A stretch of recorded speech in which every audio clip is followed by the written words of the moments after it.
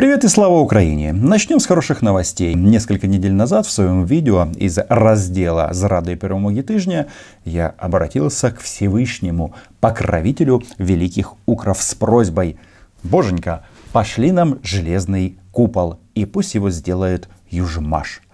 А, так вот, да, кажется вполне возможно, что железный купол у нас появится. Пока, правда, не производство Made in Dnipro. Потому что в новостях читаем, Соединенные Штаты подумывают, а не передать ли Украине элементы этого железного купола.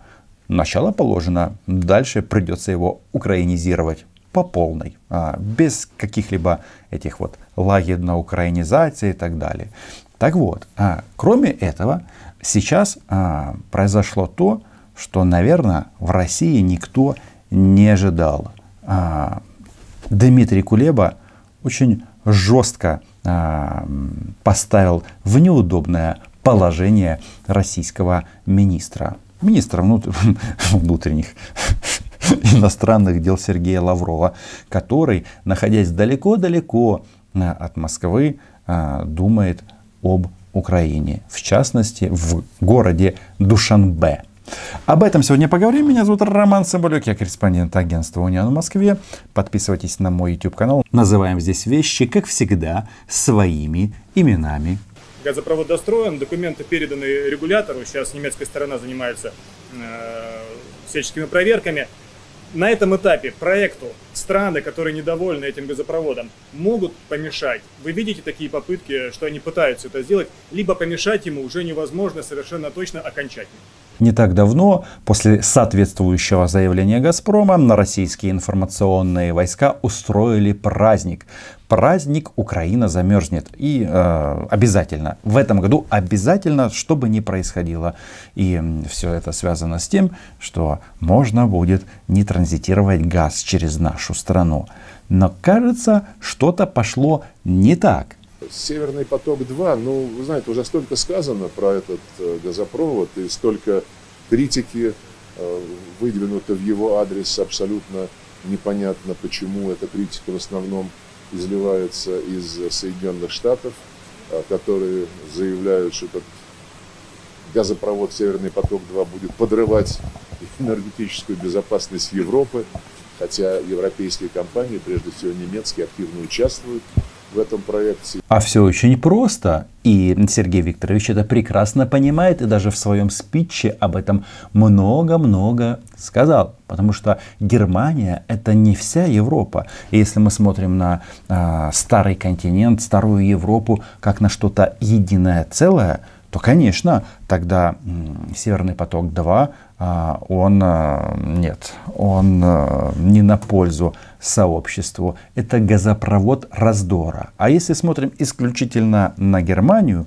и на немецких лоббистов, да, у них все хорошо. Тут как раз многое зависит от точки зрения, ну и от того, откуда бабло. Если из «Газпрома», то, конечно, хочется быстрее газопровод не только достроить, но и запустить, а с этим есть проблемы и нюансы. И немецкое правительство не раз подтверждало свою приверженность ему.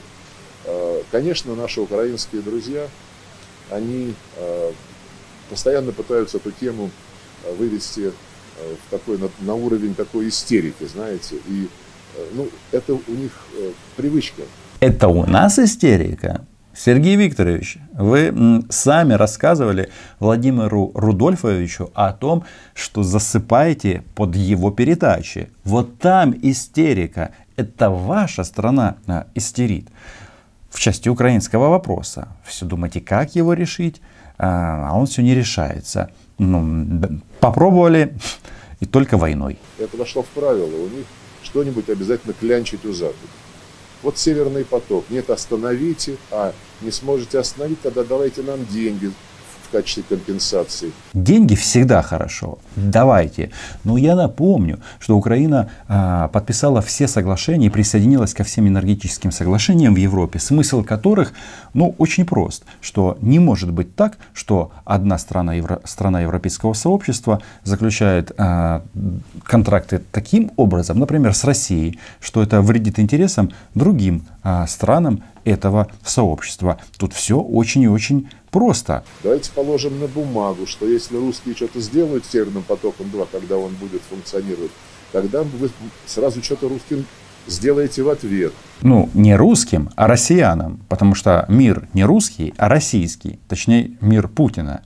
Хотя мир Путина это война. Подождите, подождите, Сергей Викторович, вы же нам всегда говорили, что вы ничего не будете делать северным потоком. Два таким образом, чтобы это не воспринималось как а, газовые войны против Украины. Но если это так, раз вы с такими чистыми намерениями собираетесь поставлять свой российский, а, некоторые считают, вонючий газ в Европу, ну, чего вы переживаете тогда? Конечно, сейчас Украина а, ставит вопрос таким образом, зная, а, с кем мы имеем дело, что россияне обязательно кинут, а Украина пытается пролоббировать тему, чтобы в контрактах газовых компаний сразу предусматривались маршруты поставок, в том числе через Украину, некоторый объем. И если это будет сделано, тогда а, перезимуем и эту зиму, и следующую. Ведь газ это, хм, это, это, это не только тепло.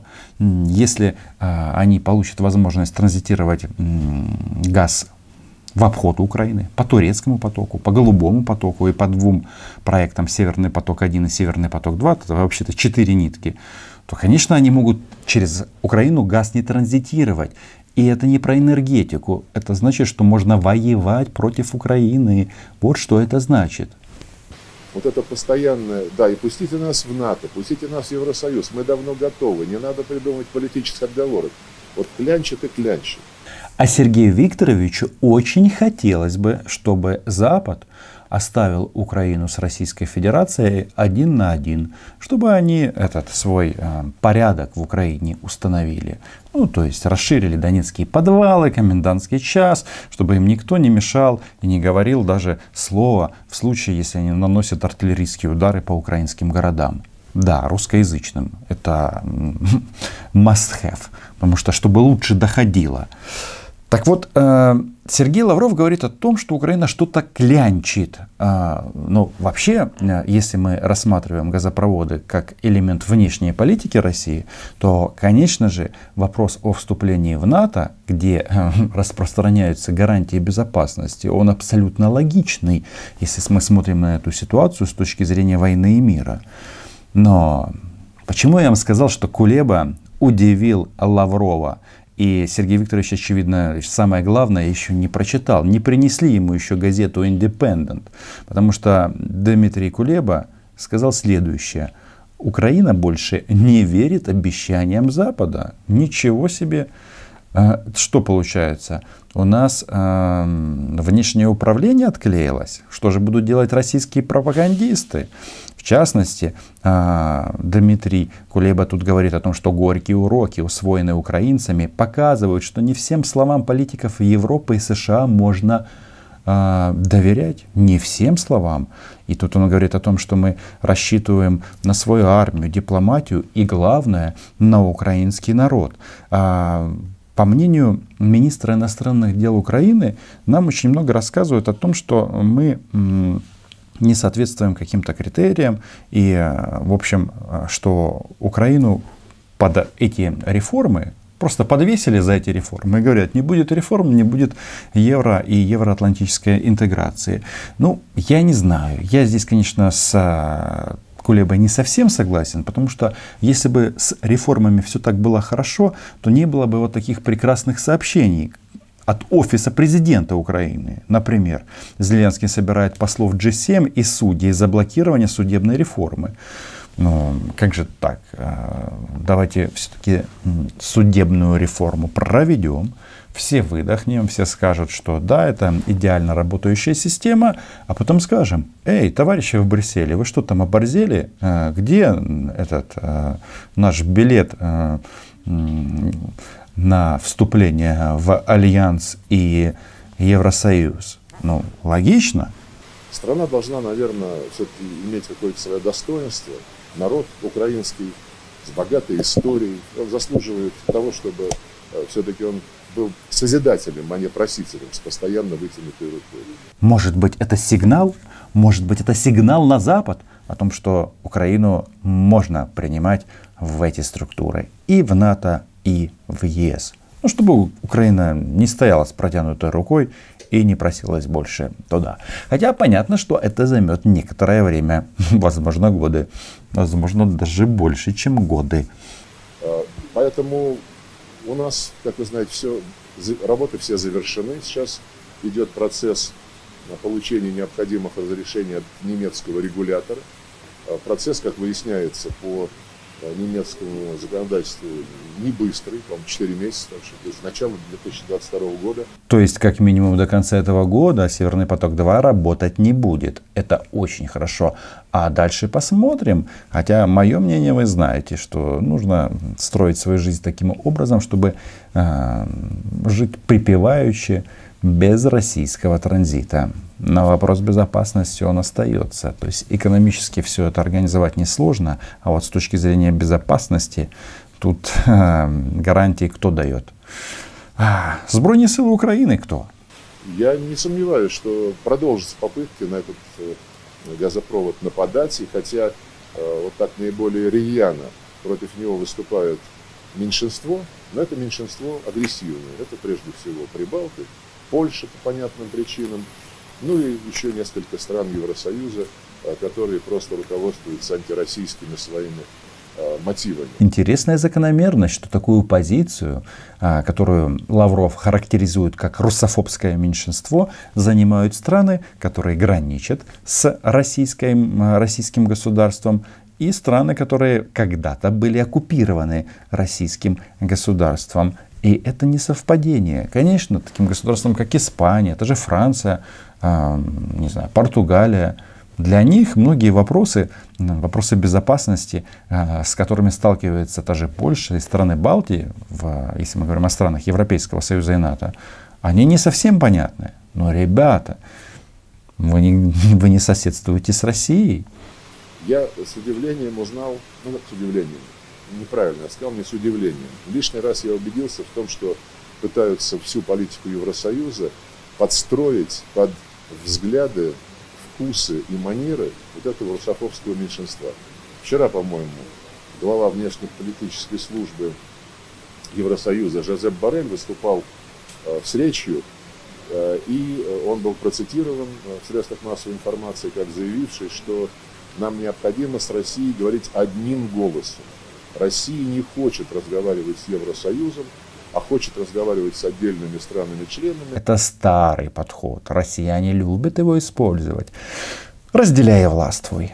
Но когда Европа говорит одним голосом, ты попробуй ее подвинуть. А если каждый сам за себя, то и получается, что от некоторых газопроводов с одним европейским странам хорошо, а другим совсем наоборот. А нам вот надо добиться того, чтобы все страны-члены требовали от России разговаривать только с Евросоюзом. Ну, конечно, совершенно поразительная логика, потому что не мы, а Евросоюз разрушил всю архитектуру отношений, которые между нами и Брюсселем существовала. И саммиты, и встречи глав правительства, почти 20 секторальных диалогов.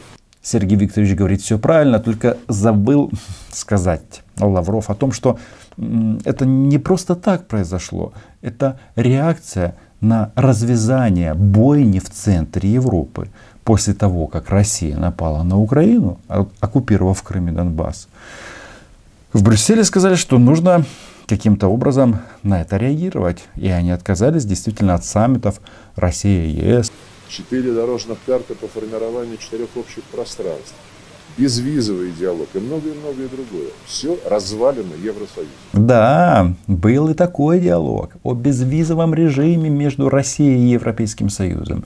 Ну что, товарищи россияне, зато теперь вы можете ездить без виз в Донецк и Крым. Хотя и до этого вы могли. И, конечно, в такой ситуации, когда он не хочет этого ничего восстанавливать, конечно, мы не будем э, сидеть и ждать, пока там кто-то у них изменит э, свои вкусы, а мы будем общаться с теми, кто к этому готов. Но если этой логике следовать, если ее проанализировать, никто не должен э, сам решать свои дела с Россией, а только через Евросоюз, это может быть намек на то, что в Брюсселе кое-кто хочет навязать линию вот этого агрессивного меньшинства по отношению к Северному потоку-2 всем остальным. Борьба будет продолжаться по Северному потоку-2 в части запуска в эксплуатацию. Тут говорят и американцы думают о том, что может быть санкция, может быть еще что-то. Я думаю, что в конечном итоге они его сертифицируют и запустят. А дальше посмотрим. Но факт остается фактом, что российские газопроводы это не коммерческие проекты. Или не так, не только коммерческие проекты. И все это прекрасно понимают. Подписывайтесь на мой YouTube канал, лайки этому видео ставьте. Это обязательно. Спасибо патронам и патронессам. Чао.